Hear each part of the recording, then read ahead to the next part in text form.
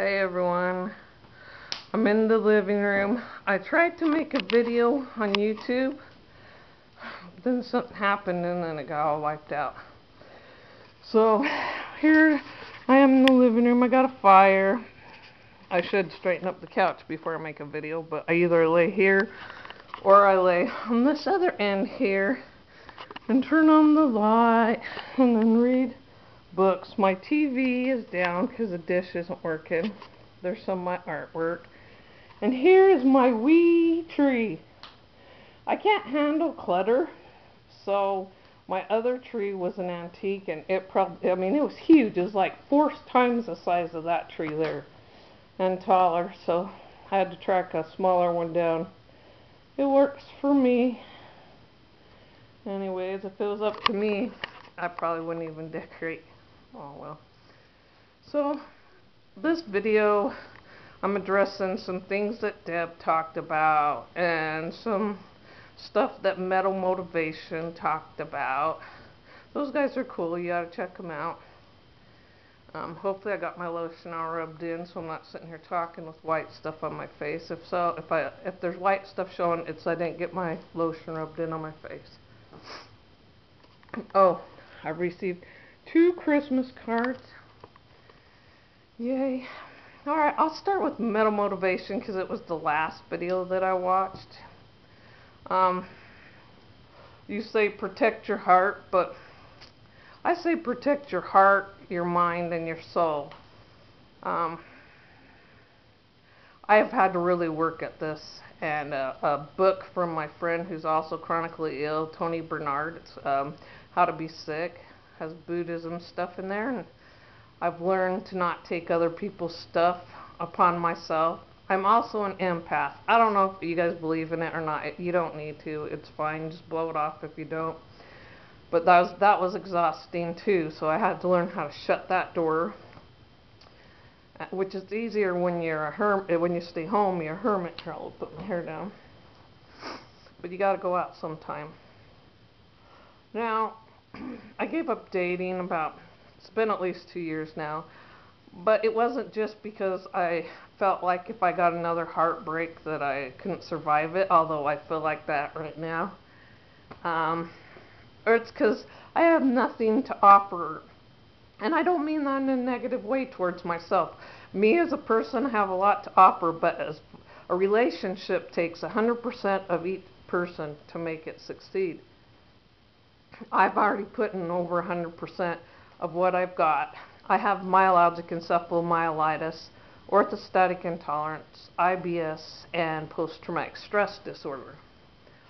The post-traumatic stress disorder is most of the time under control, so that doesn't really affect my life as much as other stuff.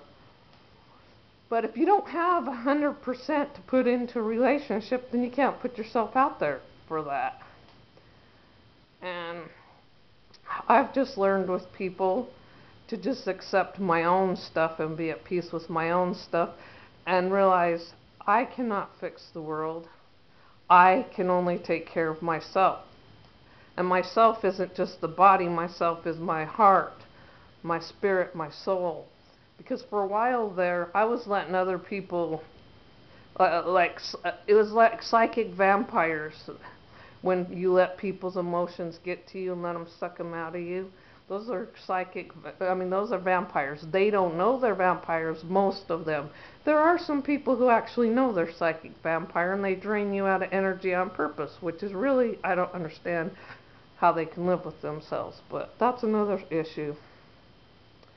Um, but I found it a lot easier since I started the Buddhism stuff. And I'm not Buddhist. I, I don't believe in any organized religion. I am spiritual, but not, you know, anyways, that's, as one of my friends says, neither here nor there. but if you take care of your own heart and your spirit and your soul, and you accept who you are. I'm still working on accepting my illness. Don't don't think that I've totally gotten to that point because as Deb's pointed out to me, I really haven't totally just accepted my illness because I I still fight and I still put the excuses like um, like I need another reason why I don't feel good today besides just my illness. I that in that way I haven't totally accepted it. Um, I was also partially raised that way. So, anyways, I don't even know uh, if I made any sense on my point there.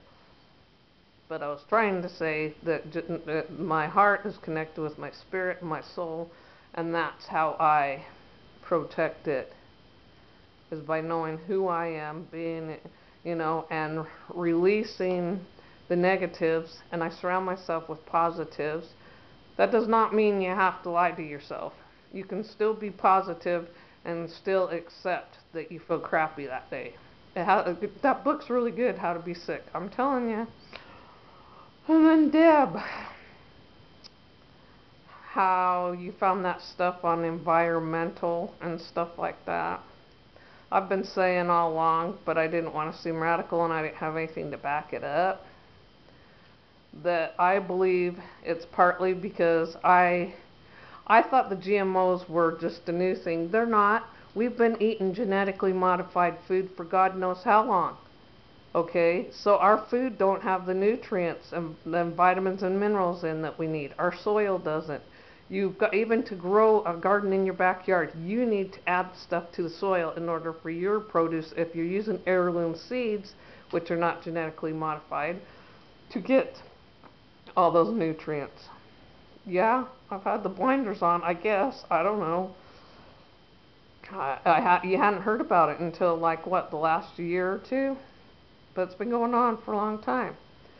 So our foods haven't had the nutrients in that we've needed. And then I owned a landscaping company and I was my only employee. And back then we could use diazinon for the aphids on, you know, and everything and we could use Roundup. Oh, and by the way, Roundup is what's in our food right now, the genetically modified foods. That is Roundup. Interesting, isn't it? There was a time when one day when I was like I had to get the diazinon down, but it was windy. So I tried to get the diazinon down. It was stupid. It was really stupid. But I know for a fact that I inhaled a lot of that stuff. And then bleach too. I've had uh, I've gotten to these moods where I've bleached stuff and then I got sick from the bleach. Then, I mean, these are asinine things that I should have known better, that I could have controlled better. And but then I was working on the assembly line when I went through my first divorce. I've been married and divorced three times. Don't judge.